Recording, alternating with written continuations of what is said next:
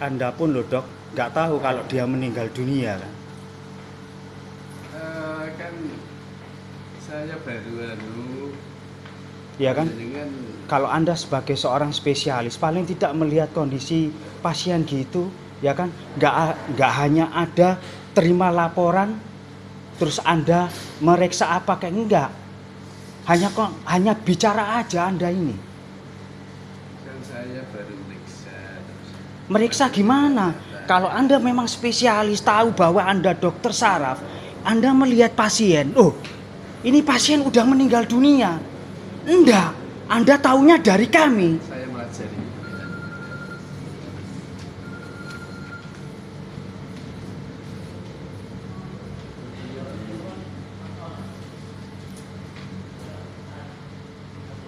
Dan saya pun pesan memang, mulai dari tadi siang yang jaga mbak ini.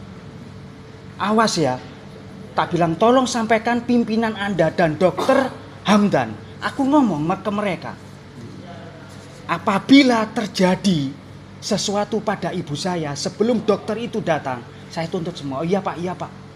Dia dia iya iya nggak tahu memang dilaporkan atau enggak enggak. Tapi Anda seorang perawat, Anda spesialis, mengenali mayat aja. Itu loh berarti tadi tuh nyontek-nyontek mayit. Sampai ini su- sudah tahu batek sampai. Enggak, enggak gitu. Masa seorang Iya, suster itu ini- nyontek mayat dan tahu kalau itu mayit. Itu nyuntik mayat ini pak. Ini bukan nyuntik pasien. Bukan nyontek pasien tapi nyontek mayat. Hah? Tanya ke saya sampai ini. Ini tidur sejak kapan?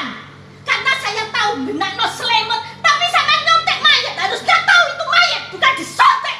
Tahu? Bukan dari kami yang bukan orang medis pak. Yang tahu itu sebenarnya memberitahu aktif dari kalian. sabar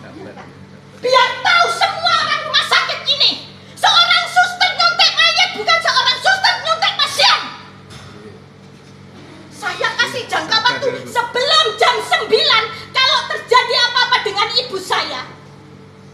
Ih, kasihan yang yang sakit yang lain nanti kaget Loh, kasihan Loh. yang sakit. Lah pada saat ibu saya sakit bagaimana? ya ini kan ya yang lain lain juga Ya nggak bisa lah.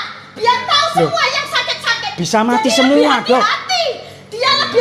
Kalau anda perlakukan pasien seperti ibu saya, bisa mati semua di sini. Tidak. Yang saya tuntut mbaknya ini karena tanya terakhir sama saya. Berarti kalian nyuntik tidak periksa dulu asal menyuntik. Karena perintah dari seorang dokter. Aslinya siapa yang nyuruh menyuntik itu? nyuruh